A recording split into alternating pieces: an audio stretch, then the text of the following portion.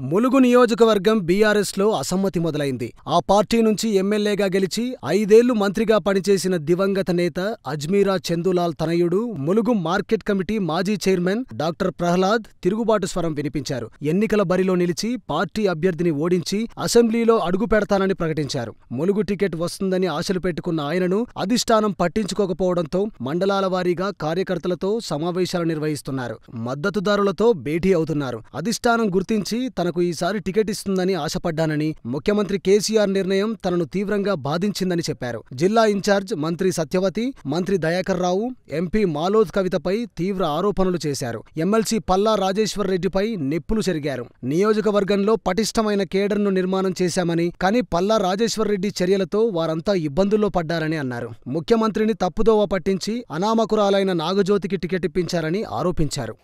ఆమె అనామకురాలు ఆమెను తీసుకొచ్చి ఈరోజు కేసీఆర్ గారు కావచ్చు కేటీఆర్ గారు కావచ్చు ఆమెను ఇక్కడ నిలబెట్టడం జరిగింది. ఖచ్చితంగా ఇప్పుడు ఇచ్చిన అభ్యర్థి మారడని అందరికీ తెలుసు.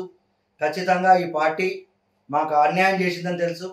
ఈ నియోజకవర్గంలో చందులాల్ గారు చేసిన అభివృద్ధి తప్ప ఏ అభివృద్ధి కూడా లేదు. ఈ నాలుగు ఐదు సంవత్సరాలు మీకు ఎమ్మెల్యే పదవి తప్ప ఈ నియోజకవర్గంలో అన్ని పదవులు మీ దగ్గరే ఉన్నాయి.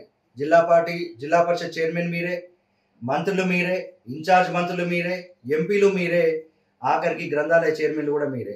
మీరు ఇన్ని పదవులు మీ దగ్గర ఉన్నప్పుడు ఈ నియోజకవర్గాన్ని ఎందుకు మీరు అభివృద్ధి చేయలేదని నేను సూటిగా వాళ్ళని అడగదలుచుకున్నాను.